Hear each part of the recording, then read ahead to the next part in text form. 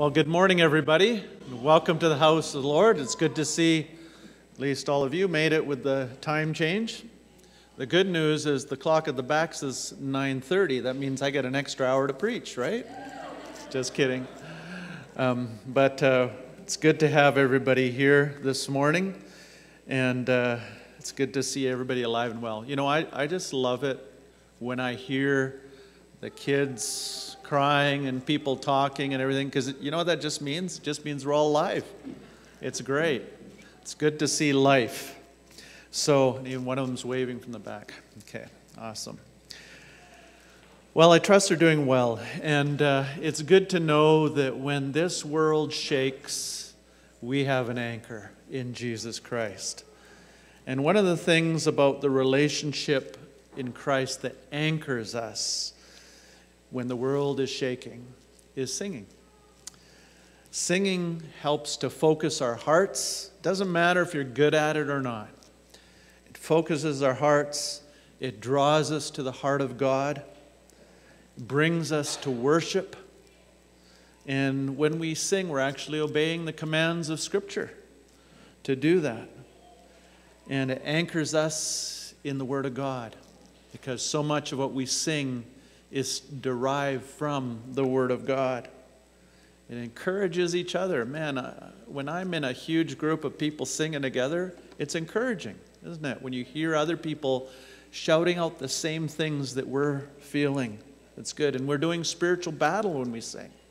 We're not just singing nice tunes because they're nice and they're fun. We're actually doing battle when we sing to the Lord. It strengthens us and it glorifies God and we get joy in the process. So there's a whole lot of reasons why we sing. Colossians 3, Paul encourages us. He says, Let the word of Christ dwell in you richly, singing psalms and hymns and spiritual songs. So that's what we're going to do. So let's stand together and sing out with all your hearts as Hiram comes to lead us.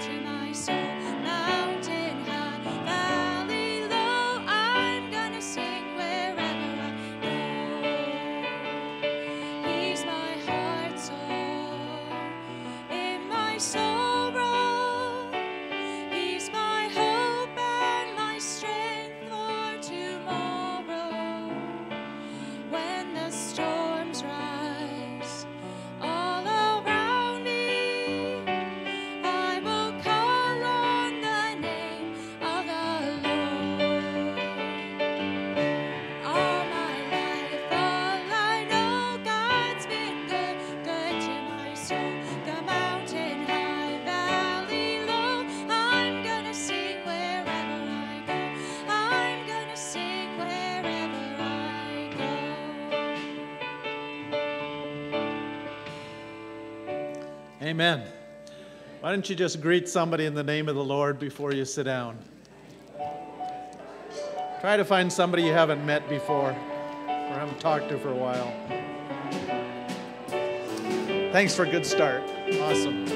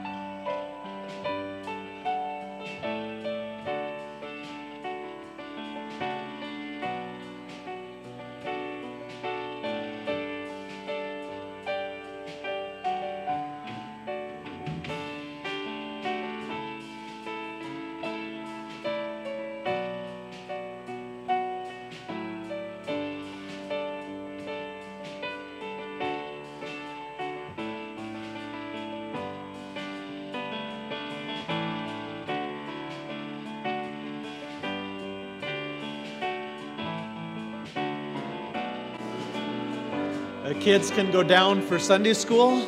The kids want to go for Sunday school. It'll be great. Hey, you may be seated.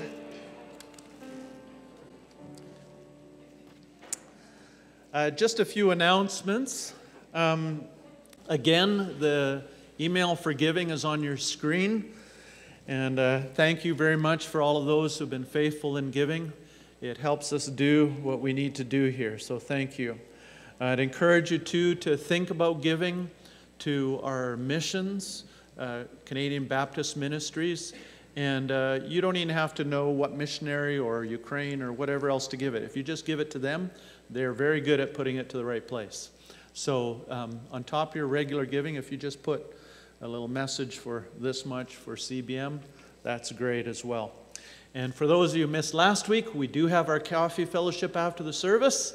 And uh, what's exciting is uh, I've already heard a few people say, I brought some stuff. So, yes. So we can just keep celebrating. The more you bring, the more we celebrate. Of course, we'll need more exercise too, but it'll be fun. So, encourage you to do that, and that's great. Um, one exciting thing that's happening is this coming Saturday, uh, March 19th, we're having or hosting a celebration for Afghani New Year's. Uh, their New Year's is March 22nd, right? And they're going to celebrate it on Saturday. So Aziz is trying to organize to have um, a, few families. We don't want to overwhelm things too much the first time, but a few families and some of their friends. And I believe there's another uh, group of people that are going to come and help with serving it, with Sean Kelly, perhaps. And um, if you need, but if you need to know anything about it, talk to Aziz afterwards. And uh, I would imagine there's place for a few people to come to meet some of them. Uh, we don't want to overwhelm them, but certainly some of you would be great to join in and become part of this new ministry that we'll be building. Um, I mentioned uh, a few weeks ago that our family that we are uh, sponsoring, they had some hiccups around their medical um, interview. Uh, I talked to the missionaries there this past week, and they said, as far as they know, that's all cleared up.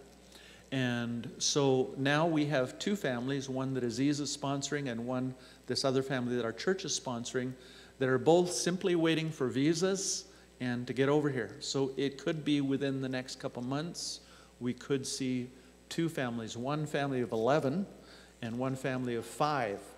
So that will add some new life in here as well. So, and they will be part of our church. So keep praying for them. Uh, we have a lot of donations so far, but please talk to me if there is something you would like to bring. Uh, we could probably use a few more beds. Um, I'm not sure about anything else. I'm not going to speak to that, but uh, we'll try to get that figured out. But thank you for your prayers, and uh, we're looking forward to uh, seeing them here soon. Uh, carrying on with prayer time on Wednesdays. Uh, we had a great time of table tennis and men's breakfast this weekend. Uh, family uh, get together is when?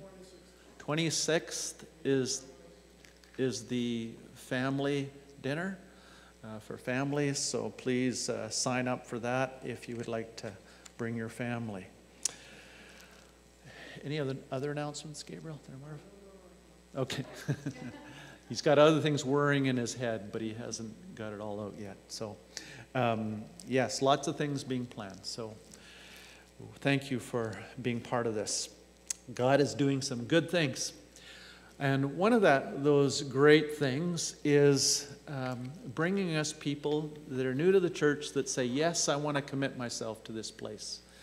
And so, um, just before they come up, I just want to share a little bit about membership. Scripture does not anywhere say, You shall be a member. But when we commit to Christ and then acknowledges, acknowledge it publicly, it brings accountability.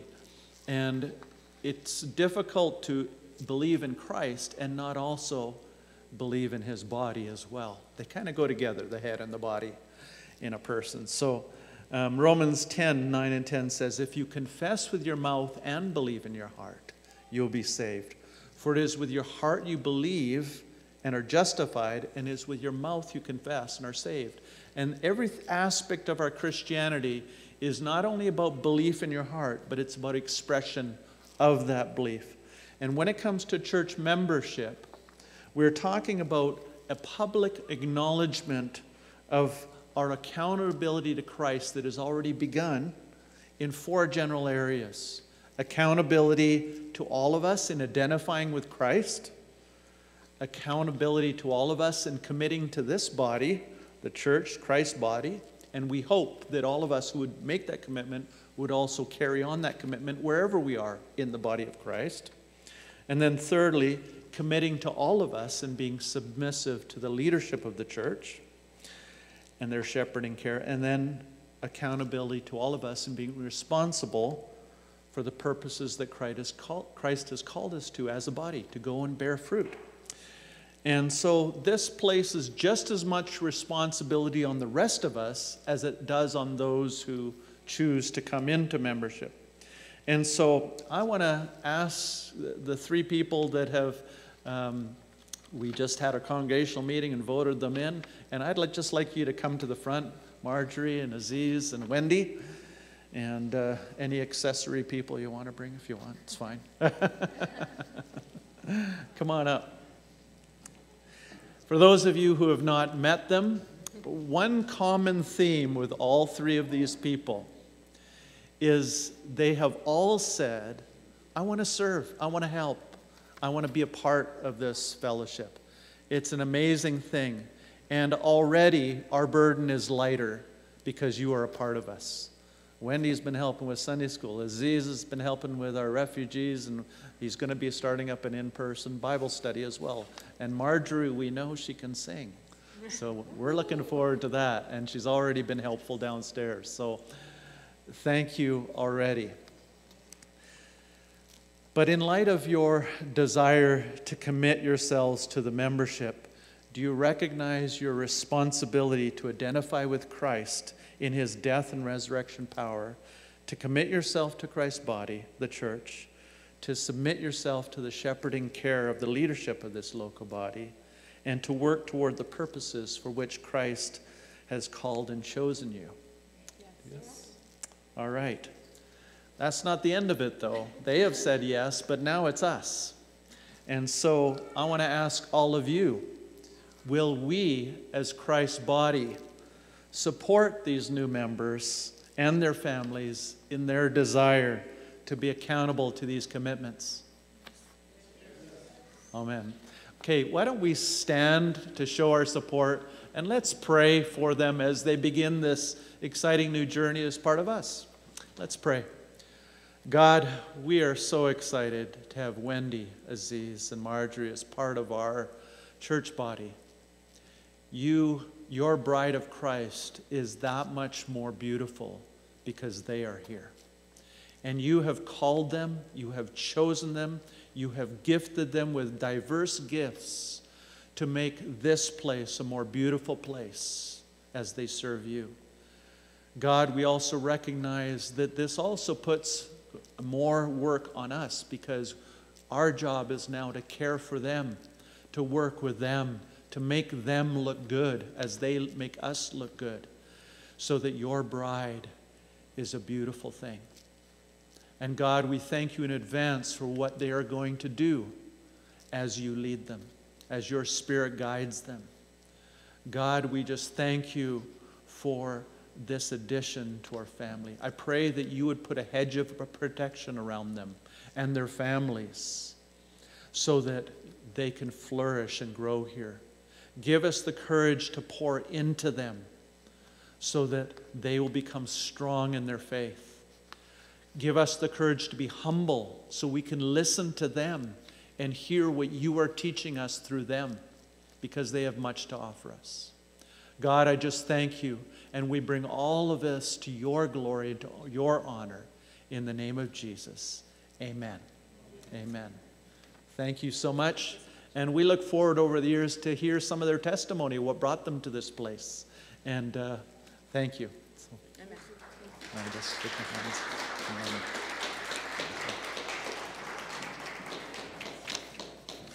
You may, well, stay standing because um, Haram's going to come and lead us and sing some more singing.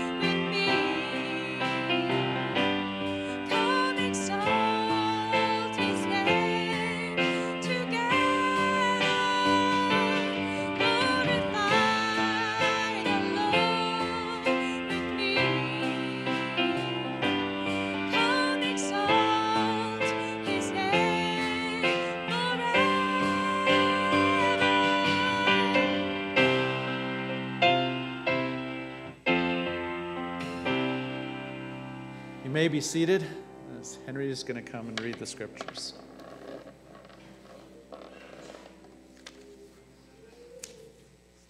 What a blessing. We don't have to wear the masks anymore. Yeah.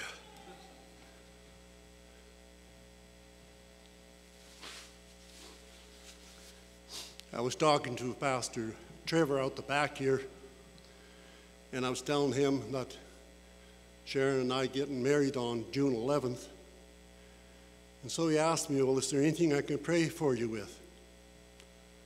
And I paused for a moment and I said, Well, I've been seeking the Lord for a petition, which is something I do from time to time, especially when the world is going mad and everything's going haywire around us.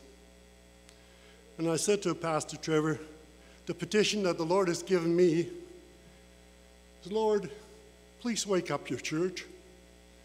Please wake her up. And I want you to come alongside and pray that with me in the days that are ahead. Daily, please. There's a reason for it.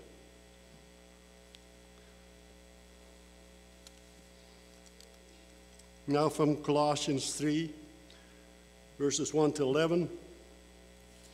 Since then you have been raised with Christ, set your hearts on things above, where Christ is seated at the right hand of God. Set your mind on things above and not on earthly things. For you died, and your life is now hidden with Christ in God. When Christ, who is your life, appears, then you also will appear with him in glory. Put to death, therefore, whatever things belong to your earthly nature sexual immorality, impurity, lust, evil desires, and greed, which is idolatry. Because of these, the wrath of God is coming. You used to walk in these ways in the life you once lived. But now you must rid yourselves of all such things as these anger, rage, malice, slander, and filthy language from your lips. Do not lie to each other, since you have taken off your old self with its practices, put on the new self, which is being renewed in the knowledge, in the image of its creator.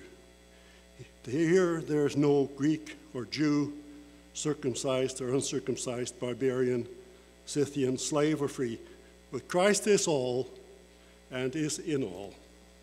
The reading of God's word. Well, let's pray together and let's pray what Henry asked us to pray, among other things. Let's bow our heads. Lord, thank you for each person here. Lord, it's such an encouragement to see a family of people that are so willing to serve, to care for each other. And God, I pray that you continue to deepen our friendships with each other and our help for each other, teaching each other, encouraging each other, and all these things that we need to do with each other. God, I just pray for my own wife with her kidneys that are not doing so well, that you would continue to give her strength. I pray that our church and the church around this world would wake up. Lord, we see so many things going wrong in this world. You are shaking this world. It's not prime ministers or presidents that are shaking this world. Lord, you allow this world to be shaken so that we anchor deeply in you. And not just anchor deeply in you, but use your strength to reach out, to tell others of Jesus. Lord, the only reason there is joy in this room is because of your strength, your guidance, your spirit. God, fill us with your spirit. Fill us with your grace. Fill us with peace. Fill us with forgiveness. Fill us with encouragement and grace. God, I just thank you that you are among us. I just pray again for those that are not well among us, that are not able to be here. Think, think of Marilyn, Andy Frederickson, for Curtis and Elaine, for Bernie, I pray you continue to be with Yvonne Stevenson and Alan Stevenson's family as they grieve her loss. God, I just pray for the many families in Ukraine and Russia that are grieving right now in the loss of life. Oh God, be merciful there. God, we know that you are in control, and we ask that you would bring peace soon, and that through all of this, many more would turn to you for help. Lord, we are helpless to change world events, but you are firmly in control. And so we bring it all to you. And Lord, as, as we sit here safely in this church, God, give us joy for what we do have. Give us joy for the foundation of Jesus in our lives. Give us the courage to reach out from that place of responsibility because you've given us so much to pass it on to others.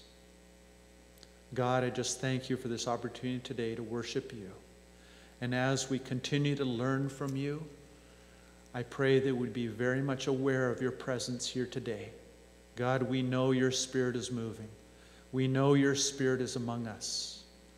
Build strength into each person here as we humbly rely on you. We are so dependent on you. Go before us as we continue to worship. In Jesus' name, amen.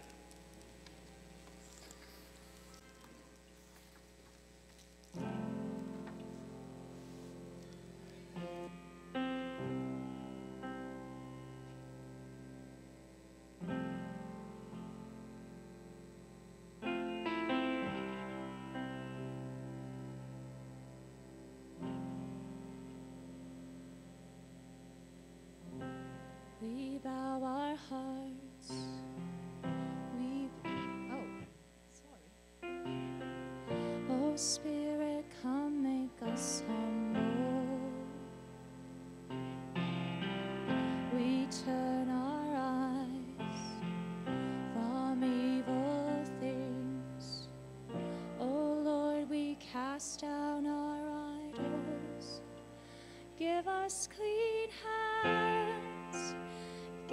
pure hearts. Let us not lift our souls to us clean hands. Give us pure hearts. Let us not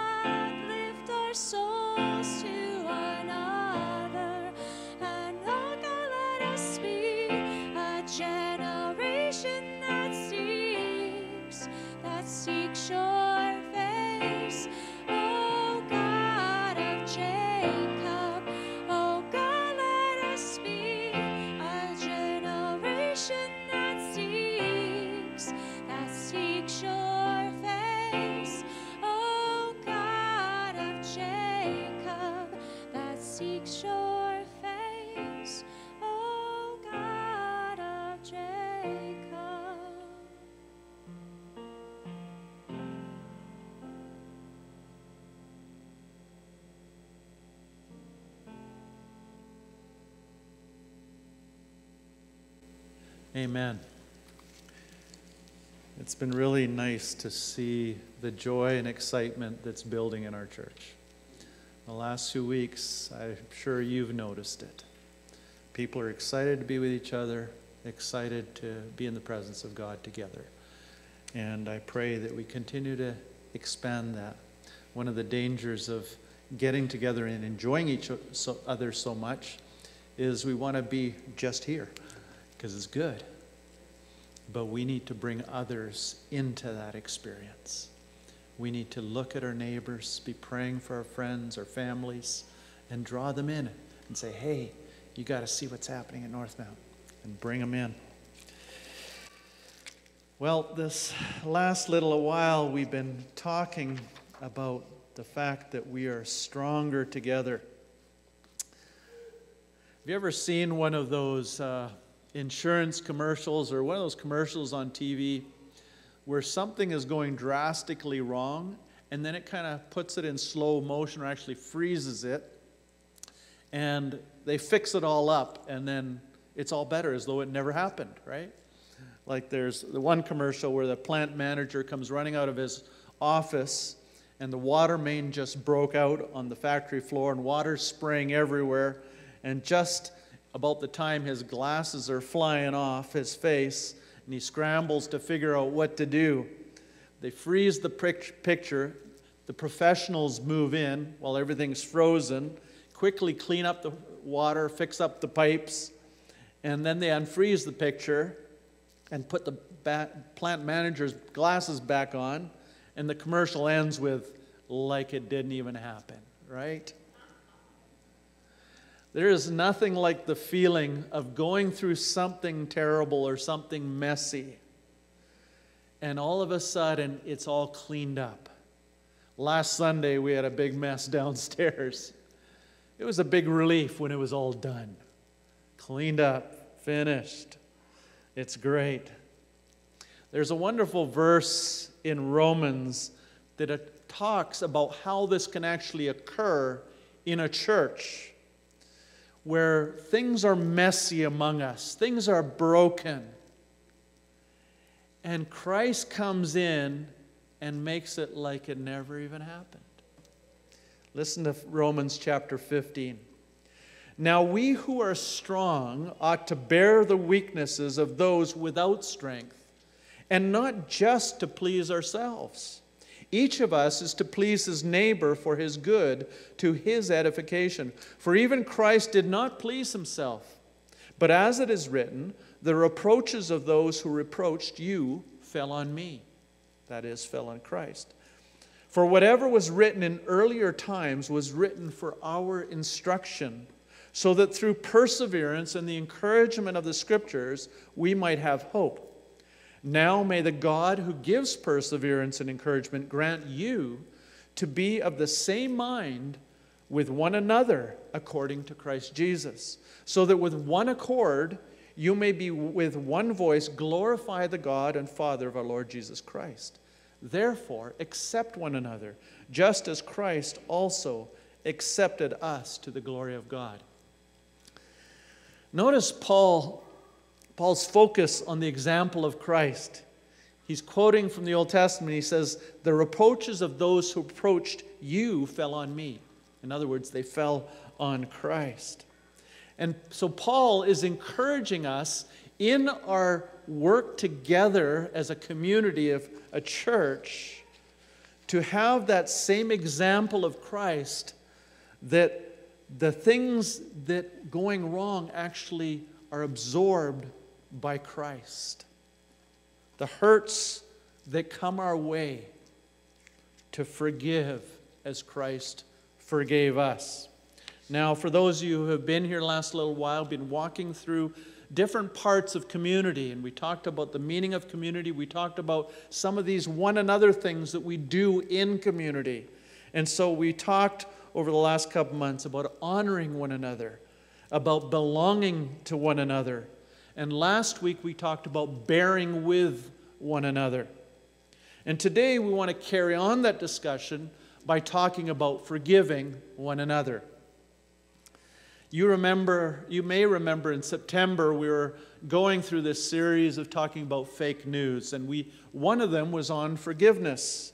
And the lie that we often tell ourselves is that forgiveness is conditional. If there's something too bad, I don't have to forgive you. And so we deceive ourselves by all kinds of excuses that, you know, I can't forgive unless the other person apologizes, or they didn't apologize correctly, so their apology's fake. Or, you know, I can forgive almost anything except for, and you name it. Or I just can't go lightly when it's clearly a sin. I just can't treat it that lightly. And I need revenge. But forgiveness is a choice, isn't it? And we talked about the reasons we choose forgiveness. We choose forgiveness because God has forgiven us. We must never forget that one. And Ephesians 4 says, Be kind and compassionate to one another, forgiving each other, just as in Christ God forgave you. And then we forgive because Jesus showed us the way. You know, on the cross, Father, forgive them because they don't know what they're doing. It brings healing to your relationships, it strengthens your ministry, and it brings healing to you. I want to go a little bit deeper today because often, in, particularly in our culture, we're very independent when we think about all these different subjects. And forgiveness is really about my experience. But I want to discuss a little bit more today about forgiveness in the context of one another. This mutual forgiveness where I forgive you and you forgive me as a church community. So, why is forgiveness so important as a church community? I mean, so many of us, we don't even think about commun- uh, forgiveness in the church community because we kind of show up here on a Sunday morning, we say hi and wave and smile for a few people, and then we're gone. And so we don't think about it too much. But often, there is that one person that we avoid, and we've kind of tucked that in our subconscious. Or there's some situations that we avoid because it hurts too bad. Or maybe outside of this context, you've been hurt, and that comes in here, and it affects the way we deal with each other. So, what has forgiving one another got to do with me and our relationship in our community, in our church community? Well, first of all, a very practical thing is that forgiving each other just saves time and energy. When we don't forgive, you know how much extra time that takes on the phone with all the gossip and slander and everything else? Do you know what so and so did to me? And we spread it around and it goes on and on and on and on. It just saves a whole lot more time if we forgive and the energy that burdens us down. But forgiveness is more than that. Forgiveness, forgiving each other, actually accomplishes God's given mission for us. Remember Matthew 28? Just before Jesus is going up to heaven, he leaves them with this challenge, this command. He says, Go into all the world and make disciples, teaching them, baptizing them in the name of the Father and Son and the Holy Spirit, teaching them everything that I've commanded you. Jesus is saying, Your mission is to go out and share the good news. Well, what's the good news? Well, the good news is in Jesus, we've been forgiven. In Jesus, we experience God's grace. He doesn't hold on to all the things that we've done wrong. In Jesus, those things are covered, and we can actually live freely. Amen? And part of God's mission for us to, in this world is to live in that forgiveness and pass it on. So, if we are going to be forgiving one another, if we're going to be obedient of Christ, that's got to move out. And that example of forgiveness needs to be part of our mission to everyone we meet. And then forgiving each other is about grace. It's God's grace that created forgiveness. Ephesians 4:32 says be kind and compassionate to one another forgiving each other just as in Christ God forgave you. And the word that's translated forgiving each other, one another, it comes out of the Greek word charis, or we often use in English charity, can come out of that too. But it's the English word of grace. Forgiveness, which tells you that, and in fact, some translations actually use, you know, be gracious to one another instead of forgiving one another. So you can see that grace and forgiveness go hand in hand. They're two sides of the same thing. And the people you see that appear to be the most gracious people are people that are committed to forgiveness before you even open your mouth. Think about that. In other words, before a negative word is even comes out of my mouth, before my brokenness fails and falls all over them, they have already made a commitment to treat me with forgiveness, to treat me with grace, to cover over that moment that I'm spewing out something bad, and they cover it with grace. And the matter disappears much more quickly. Even the way it's worded, forgiving one another. Paul is telling us it's an ongoing thing, which brings me to the next point that forgiving each other is a daily exercise. It doesn't just happen on that one moment when we get together and somebody offends you. It's a daily exercise that we need to practice. You know, over the last few weeks, we walked through some videos on the Lord's Prayer and we looked at the Lord's Prayer. And the underlying assumption of the Lord's Prayer, it's a daily practice. When the disciples said, Lord, teach us to pray, he, they weren't saying, could you just teach me one formula that I can use once in a while? No. This was a daily thing. God, how do we practice? Jesus, how do we practice this thing called prayer? Well. And Jesus, in that, says, Father, give us our daily bread. In other words, we ask this daily.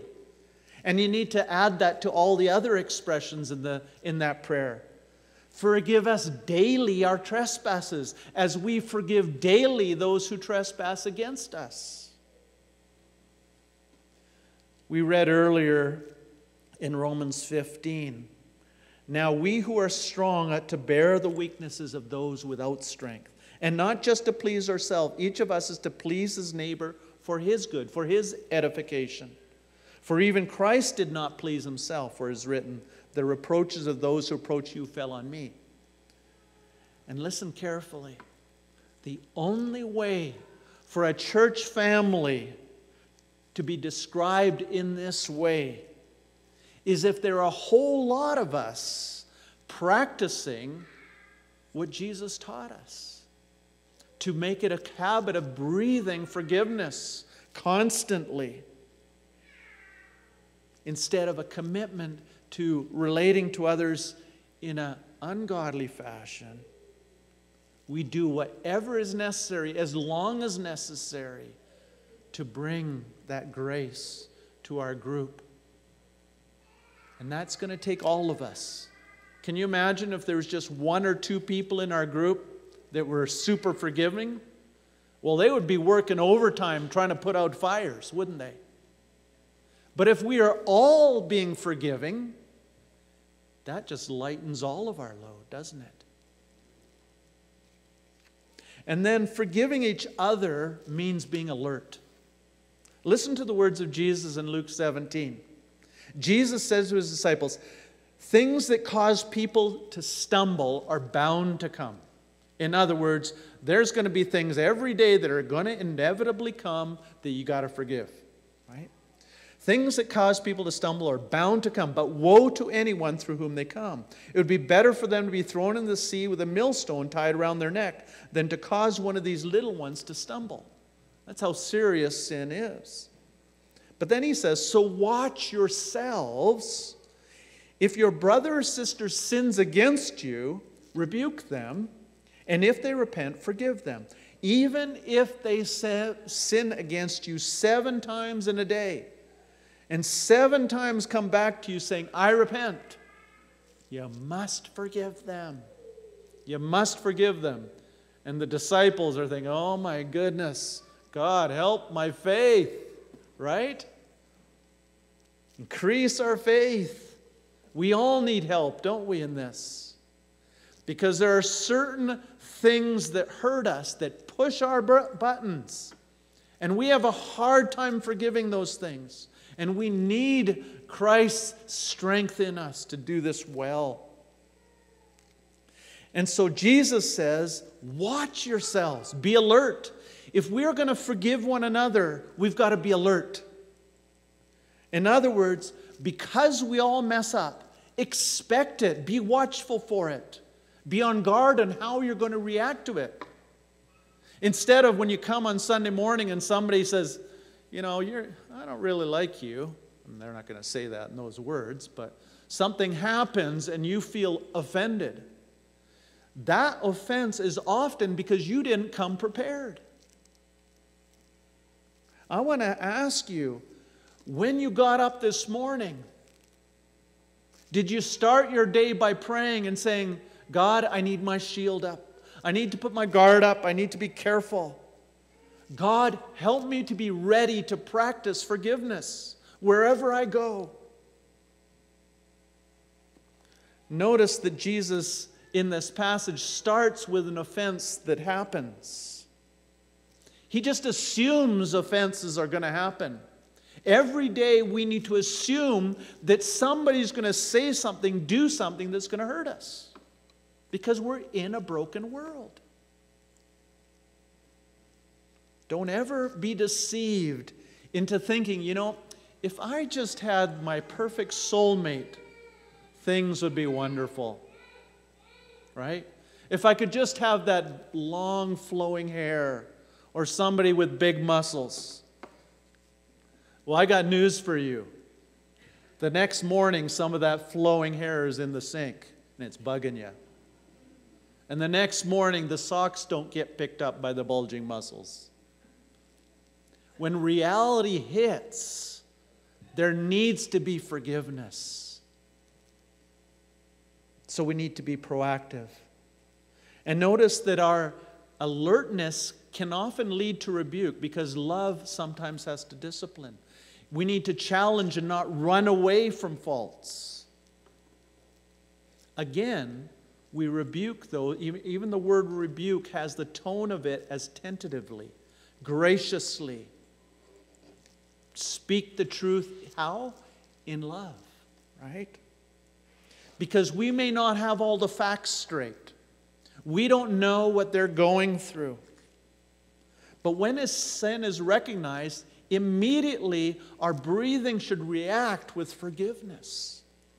Ken Sande, he's written some books on peacemaking. And he summarizes four promises that Christians must make in order to forgive one another. First of all, I will not dwell on this incident. Secondly, I will not bring up this incident again and use it against you.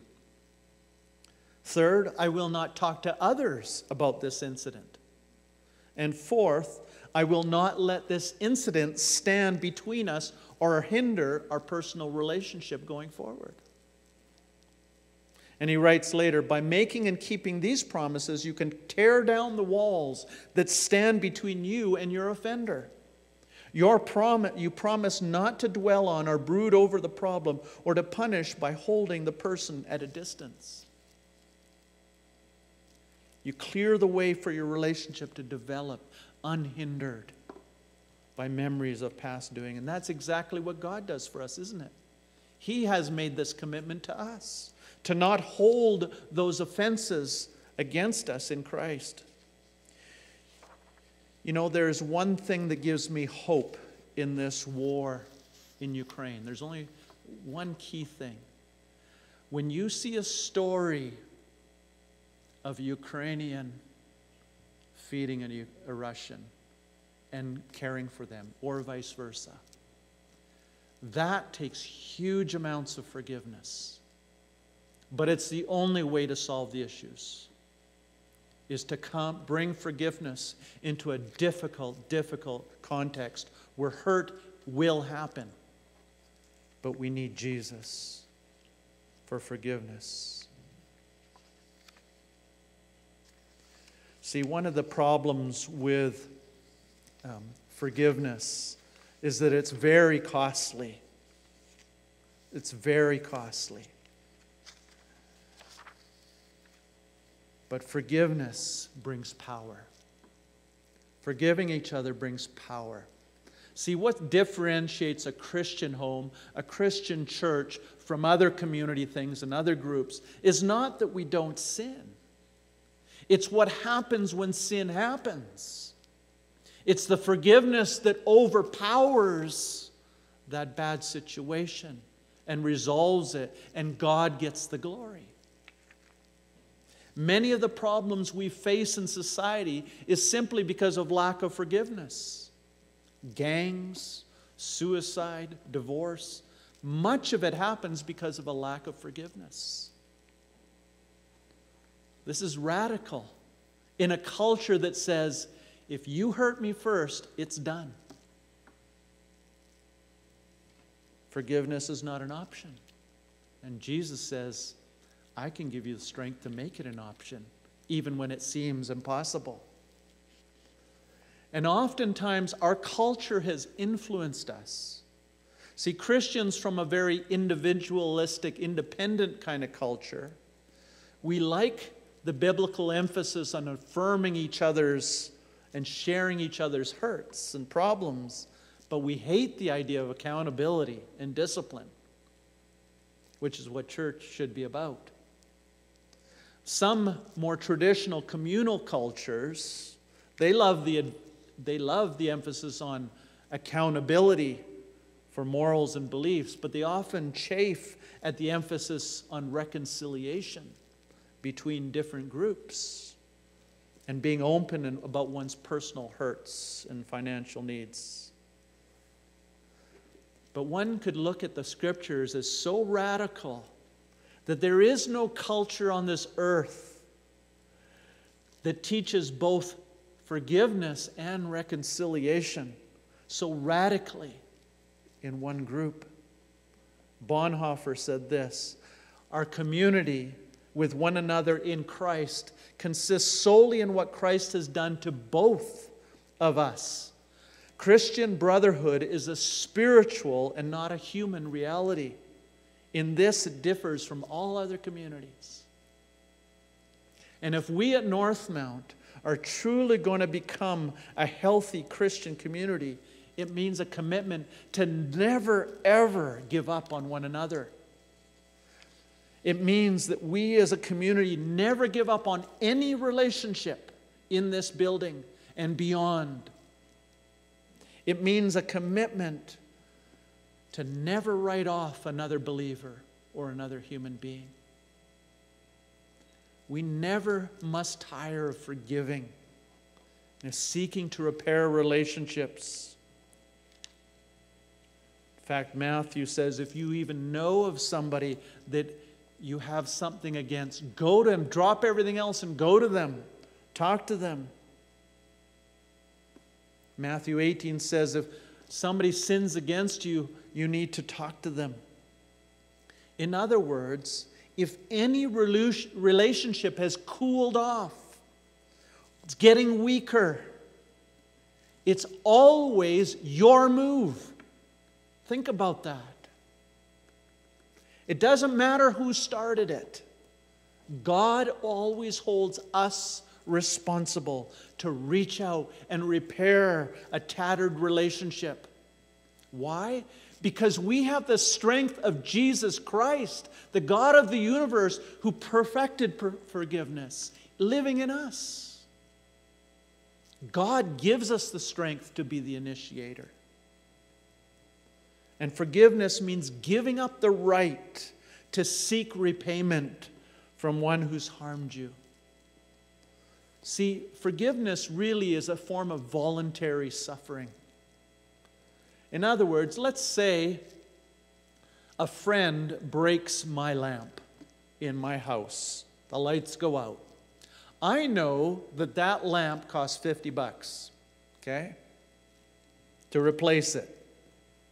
So, this breaking of the lamp incurs a debt of $50. If I let him pay for it and replace the lamp, I get my lamp back and he's out 50 bucks, right? But if I forgive him that uh, for what he did, that debt does not vanish into thin air. When I forgive him, I am absorbing that debt the cost and the payment for the lamp, or if I decide not to get another one, I absorb the sacrifice of living in darkness, whatever, right? But forgiving is to cancel the debt by paying for it or absorbing it yourself. Someone always pays every debt. That's the case in every kind of wrongdoing, whether money is involved or not. In every case of wrongdoing, there is a debt.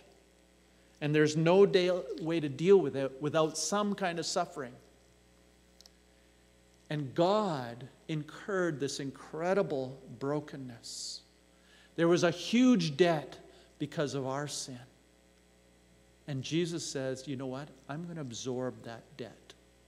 I'm going to pay for it so that you don't have to. That cost Jesus his life. It cost him everything, but he was willing to pay for it for us. Because forgiveness is always extremely costly, it's emotionally very expensive. It takes blood, sweat, and tears sometimes. So often, forgiveness is granted before it's even felt. Jesus died before we even had done all our sinning. But he said, I'm going to pay for it ahead of time, anyways, because he took a stance of forgiveness. It's difficult, it's painful, but we are walking in the path of our Master, are we not? And the gospel gives us two prerequisites for a life of forgiveness emotional humility and emotional wealth. You can remain bitter towards somebody only if you feel superior to them, kind of like, I would never have done that, right? With that superiority, you don't forgive. We need humility that says, except for the grace of God, there go I, right? When Paul says he is the worst of, of sinners, he isn't exaggerating.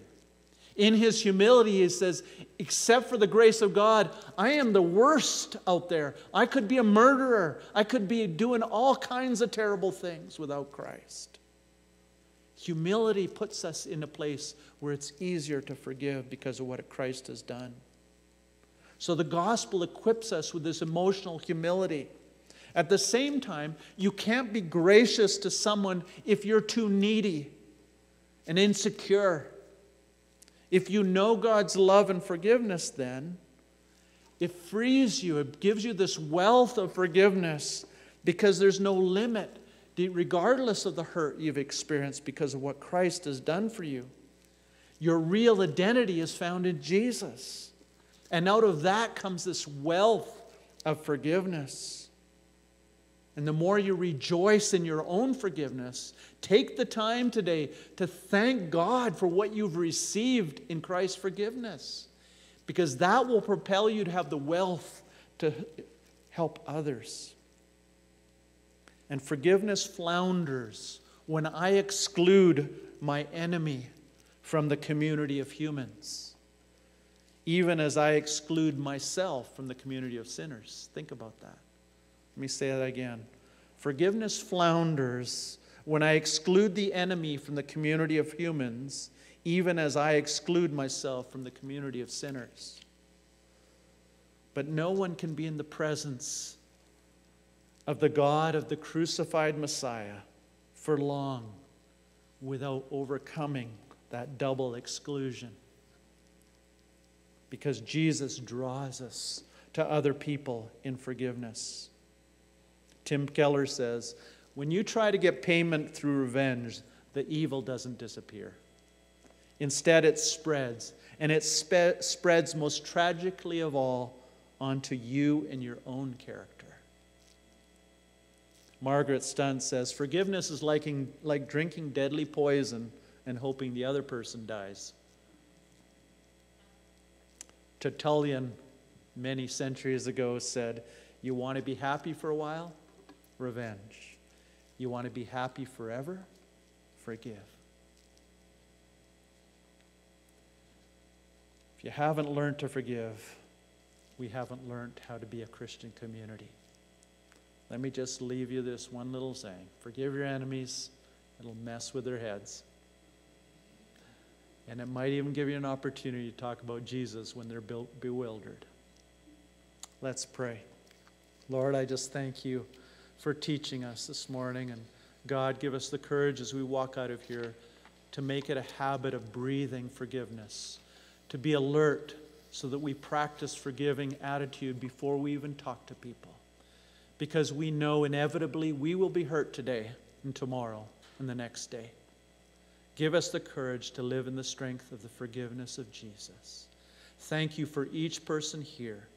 Thank you for the forgiveness and grace I have been shown by many in this house. God, go before us. In Jesus' name, amen.